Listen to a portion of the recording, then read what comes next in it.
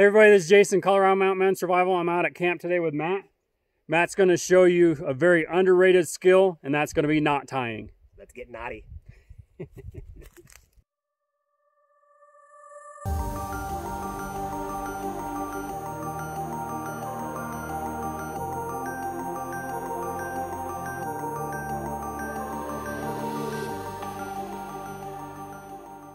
Okay, so knot tying, I guess, really isn't an, an underrated skill. It's a under practice skill. And if you, knowing a knot and knowing how to use a knot are two different things. So having a practical application for a knot will really help you learn what you need to do with it or learn how you tie it.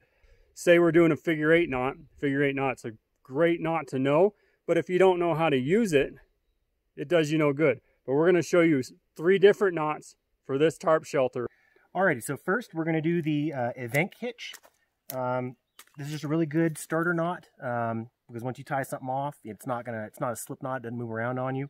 Um, it's called the Evenk hitch after a, a, tribe in Siberia, if I'm not mistaken. And uh, another advantage of this is how they used to tie off their reindeer apparently. So you can actually do this with thick mittens on uh, without having to take your mittens off and get your fingers cold. So we're to take the tail end. I've already got it attached to my tarp. I'm to come around the tree.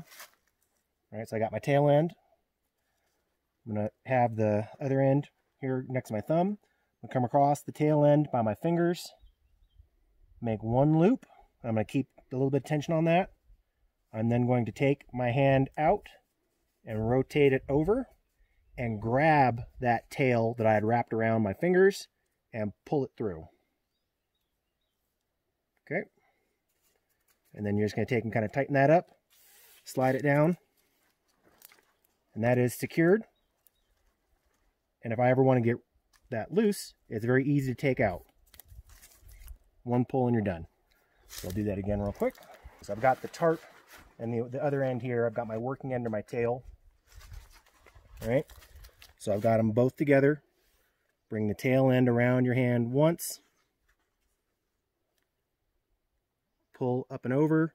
Grab the tail end again and pull it through. Like so. This is called a tarp taut line hitch um, because if you just tie off another knot, it's just going to, you know, like a, a, slippery half hitch or an overhand or something like that. See all this slack you've got here, which you don't necessarily want. You want, if you're looking for a nice tight ridge line, you're going to take and go around the tree once, and you're going to come back around that line, and this way you can actually, you know, even if I've got a fair bit of slack in this, at this point, I can make that as tight as I want and taut like that. So I've come around and I'm tensioning the line against itself. So just very simply come up and over, or you could go down and around. It doesn't really matter, I don't think. I've got that as tight as I want it. I'll just come back over and I will do like a slippery half hitch or something on this end that's nice and easy to get loose without a whole lot of muss and fuss. I don't want to have to cut my line or anything like that. So I'll just kind of just do something like this. I could actually tie it off like so, but that makes it harder to get loose a little bit, but not bad. That's still quick release. All I got to do is pull that tail to get that out. And again, if you are worried about this working itself loose, you could just, you know, pull this out, tie another one in line real loosely, like so. That'll help prevent it. You could stick a toggle through there to where it would choke up. I mean, that's all personal preference. So just going to take and that's out. So we're going to tighten that up as much as you want. I'm going to come over. I'm going to double the tail end. Just like that. And so I've still got that doubled end. I'm just going to do it again through here. Like I said, you can actually just go ahead and pull like that. And that works well enough. And if you want, we'll just take and put another toggle in. So we'll just take and stick the toggle through that loop and then pull like we're going to untie it until that toggle locks in. Now, no matter how hard I pull on this, really, it's not going to pull loose until I pull that stick out. Right. So bonus knot, actually, we're just going to take and do an overhand. I have to attach some small cordage to the uh, the tail ends there, those grommets. So I'm going to take and just fold that over. And we're just going to bring that over itself. And I'm just forming a loop. Like that. Of work that down. Tighten everything up. So that's a nice fixed loop. And all we're going to do is put that through the grommet and then run the tail end through and attach the, the line to the tarp itself. So I know it's a very common knot, but what do you call that knot for people that don't? Uh, I, I, call it like just a doubled up overhand or an overhand. Okay. So, all right. So we're going to take our loop, that fixed loop, we're just going to run it through the grommet. And I'm not even going to try to run the full knot through. I'm going to take the tail end, run it through the loop, pull it down, and if you have enough slack, bring that knot back through the loop so it's not binding up on you. But close, but no cigar, but it doesn't have to be perfect. So that's just a quick, easy way to put your put guy lines and stuff or attach things to these tarps if you don't want to actually tie a knot on there and have this semi-permanently attached. All you got to do is just pop it off and pull it off. There's no big deal. All right, so we're going to come back here. We're going to guesstimate. Of course, I'm to be right in the, I'll come over here to the ground, drier ground a little bit. It's probably still frozen down in there. So this is about where I want my potatoes. this is where I want my my stake here. Probably right around in there. Um, I also am going to drive my stake in at an angle. Uh, so even if it is pulling on it, I can always cut a notch to keep the, the line on there. But this adds a lot more strength. Instead of like tying or, or pounding a stake down straight like that, you have a lot of risk of something being able to come untied or just pulling your stake over and then losing all your tension. So I always like to drive my stakes at an angle away from whatever it is that I'm uh, going to be attaching. So that's about where I want it. Take a baton or a rock.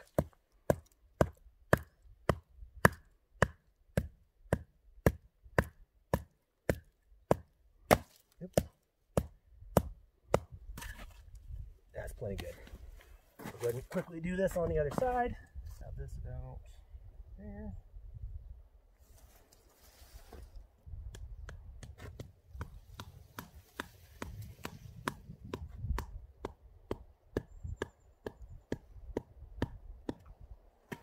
All right.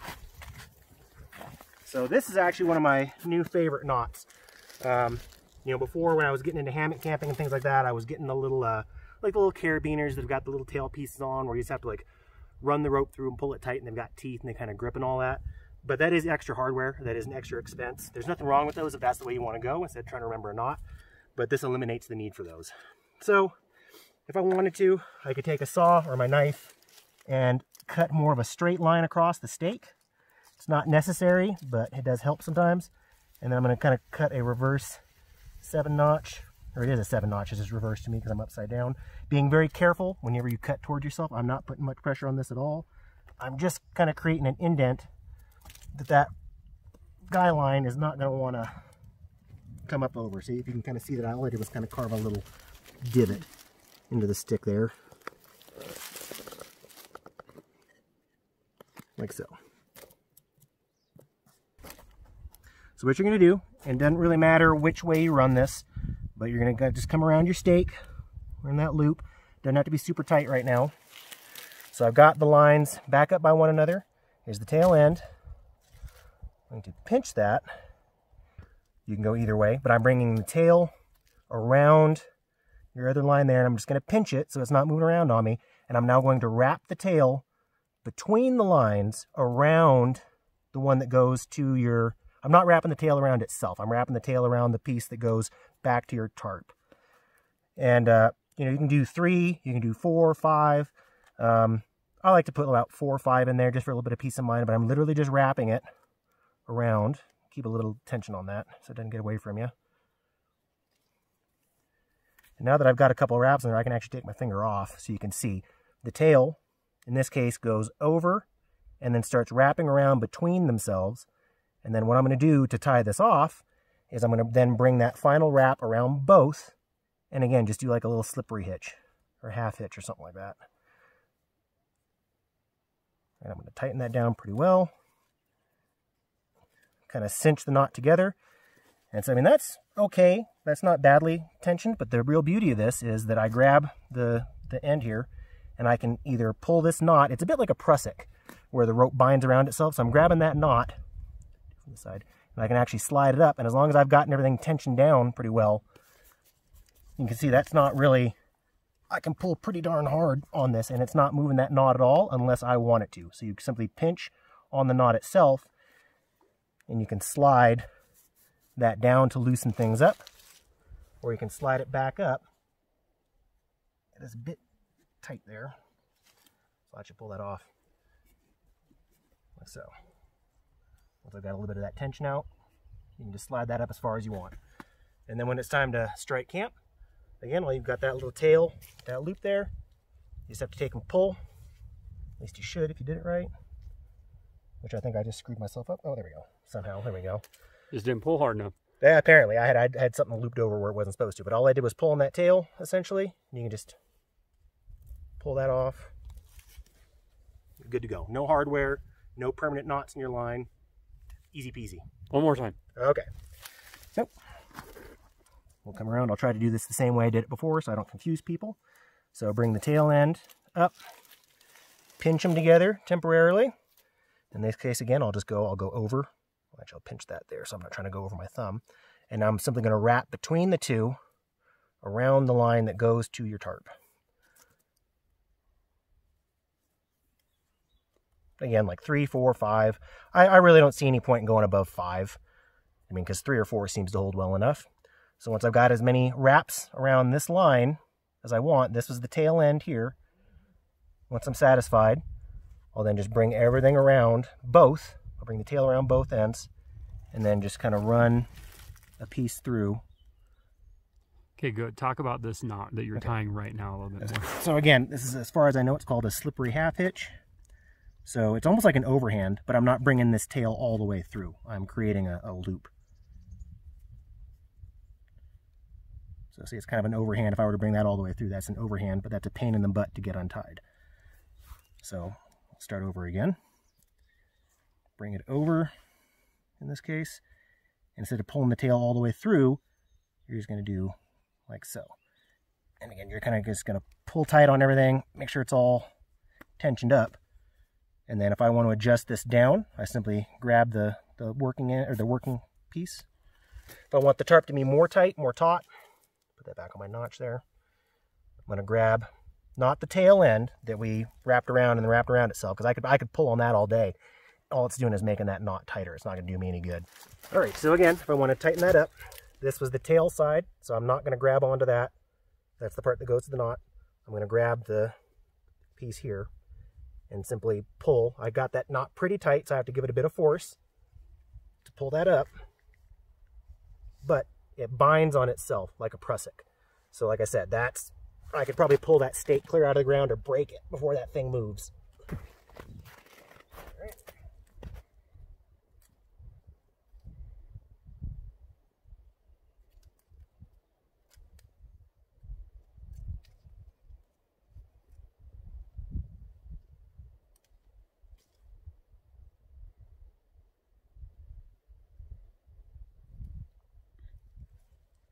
Good to go.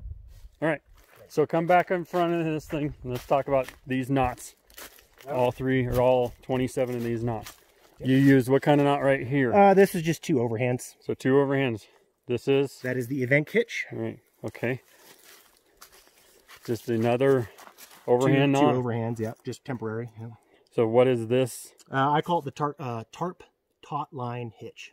but it's coupled in with? A toggle. Uh, well, no. What's this not called? Oh, and then that would be another like a slippery half hitch. All right. That's how I know them anyway. So again, this is just another... This was a fixed loop that I ran through and then ran the tail end through the loop. So that's easier to get on and off instead of tying the line directly to the tarp and then having to undo the knots. You just have to just undo that loop. And then you, this was called again? Uh, this is just, uh, well, I call it just a tensioner, a tensioner knot. And then tied a guy, up. A guy line tensioner. Tied up with? With a half hitch. Right. So there you go. So we just learned like 47 different knots here just to tie up a, sh shelter. So there's some really... Here. So Matt did a good job, right? Give him a hand. But yeah, I, there's all these knots tied in here. You can use the same knot really on every single one of them. Um, you're gonna well at least for these ones You could use this tensioner knot here. You could use the taut line on everywhere, but really just seeing those different knots in practical uses is really gonna help you learn how to tie these knots. Sit down in front of the TV, tie a couple of these, and then get out in the woods and tie it over and over and over again until it sticks in your head. You're not gonna learn it just tying it once. You're not gonna learn it in your living room. The only way you're really gonna learn it is if you come out in the woods and throw these shelters up. Yep, and that's exactly what I do. I sit there in front of the TV and just start tying the knot over and over and over again until I get it right, until I can pretty much do it with my eyes closed. Really, um, it's not like I said, it's not necessarily an underrated skill because everybody knows that they need to know how to tie knots. They just don't know how to put them in a practical like application. So hopefully you learned something today. Thanks for joining us. I'll see you again next time. All right, so we're going to do the Evenk hitch. Can you check me for earwax while you're back there? so I've got my tail end. I've gone from my left to my right around the pole I'm trying to tie off to. Okay, bring both pieces over. The tail end is towards my fingers. I'm going to bring that around my fingers one time. I'm going to then kind of keep tension on both ends. The, the tail end is still on my right. I'm going to bring my hand with that loop under, go over the top, and grab the tail end and pull part of it through while still maintaining a grip on both sides. Stiff rope, but I'm going to just take and work that down like so. And that is now attached. Even though the knot looks like it's separated a bit, it is plenty sturdy. That's not going anywhere. And then to undo, you simply grab your tail end. See where that loop is? Pull the tail end, gone. Okay, so we're going to do that, uh, what I'm calling the, tar the tarp taut line hitch. I still can't say that. Anyways, all right, so got my end, my whatever it is I'm trying to tie off. Got my tail end. I'm going to come around the tree. All right. I'm then going to go over or under, doesn't really matter. I'm to go around that with the tail, and I'm going to pull back until there's enough, as much tension as I want on that, until it's as taut, hence tarp taut line hitch, as I want. I'm then going to then come around the tree again with the tail, and if you want, you can actually go over the piece that's already wrapped there to kind of bind it against the tree. That helps a bit. Like so. I'm going to come back over. I'm going to go over the top. And you see I've kind of made this diamond here, this triangle. I'm going to take and bring part of the tail through. I'm not going to bring it all the way through. I'm going to bring a loop through. This is kind of a stiff rope. It's better with a smaller, more limber rope. And then I can also just bring that through again, like so, to have it be nice and quick release. So again, I can pull on that super hard. It's not going anywhere. But if I want to get it loose, simply grab your tail end, pull through, unloop, good to go. Okay, so now we're going to do that tensioner knot for your guy lines. So I'm going to come around my quote-unquote stake, right? Got my tail end. I'm going to just come up here a little ways. I'm going to pinch, right? Got my tail end. I'm going to then start wrapping, not around itself. I'm going to wrap around the other end of the line there two, three. Well, I wouldn't go two. I'd go three to five times. Somewhere in there. Probably good enough, right? Bring all those coils I made up. So again, this is the tail. This is the tail. The tail does not wrap around itself. This is whatever I'm trying to tension to. right? and then to tie it off, I'm going to go around both to pinch them together and just tie pretty much whatever you want. I like, like I said, the little slippery half hitches where I can just pull one string and I'm good. So then to tension it, again, tail side here. If I want to tighten it that way, I grab the knot and push the knot up. If I want to remove tension, I grab my end, pinch the knot, and work the knot back that way. But once the thing is tensioned up like that, I can go ahead and pull without destroying the shelter. That's not going anywhere. And then to get it loose, simply just undo what you did, and you're done.